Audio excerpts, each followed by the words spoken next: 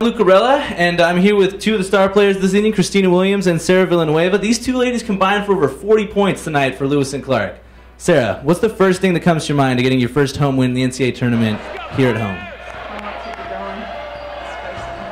What about you, Christina? Yeah, same thing. The first thought when I walked out of the gym was like just one step closer to our goal. Did you guys feel way more comfortable playing in front of home fans tonight?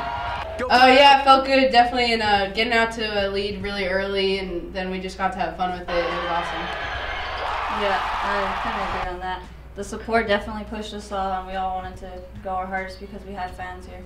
They spent an entire year working and three years really building to get the respect of the NCAA to be able to host. And it's just such a different week when you're not traveling and you have all your fans and your family can come to games. And It's a really different experience. I'm super proud of them and, and what they've built over the past few years to get here.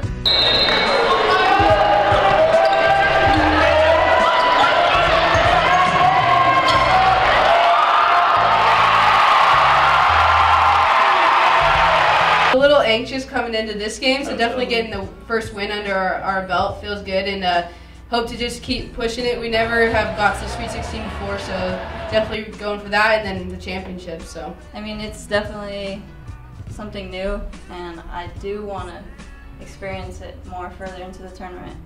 And it was just, I just felt really good about it. Felt so happy inside. Yeah, coach definitely talked about that, um, having a ton of energy, but at the same time staying disciplined on defense because uh, that was yeah trouble I had in the Whitworth game for sure. So that was definitely one of my focuses. We did. We thought, uh, you know, as a coach, as we watched the film, and we didn't think they could play with us for 40 minutes. And it's just so hard to tell when you haven't seen teams coming in from other parts. But you know, they play.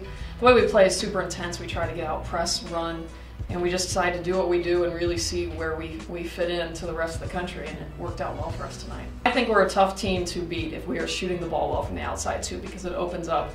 You know, all the driving lanes, it opens up inside play. And so if we're able to hit shots and extend the defense, that really lets us do different things on offense and we can put up points really quick.